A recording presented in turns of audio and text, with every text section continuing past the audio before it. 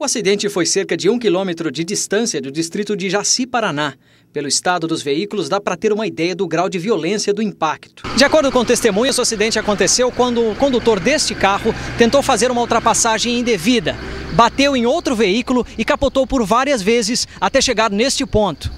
O motorista do caminhão de câmera fria mostra onde o farol do veículo foi parar. Ele conta que o condutor deste carro bateu neste outro veículo que caiu em uma ribanceira e em seguida chocou-se na lateral da carreta que ele dirigia. Ele veio fazendo várias capotagens para cima de mim, do, do caminhão.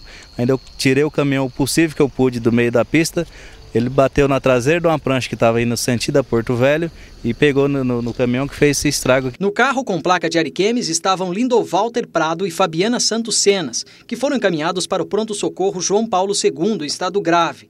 Eles viajavam sentido Porto Velho. No outro veículo, que ia sentido Acre, Nélio Veríssimo de Oliveira, Maria José da Silva Mendonça e Jonathan Souza Mendonça foram levados para o pronto-socorro João Paulo II, mas, de acordo com a polícia, não sofrem risco de morte. Moradores de Jaci Paraná reclamam da falta de sinalização no distrito de Porto Velho. Segundo eles, os acidentes por aqui acontecem com frequência. Há um mês nós estamos aqui, é todo dia dar um acidente aqui.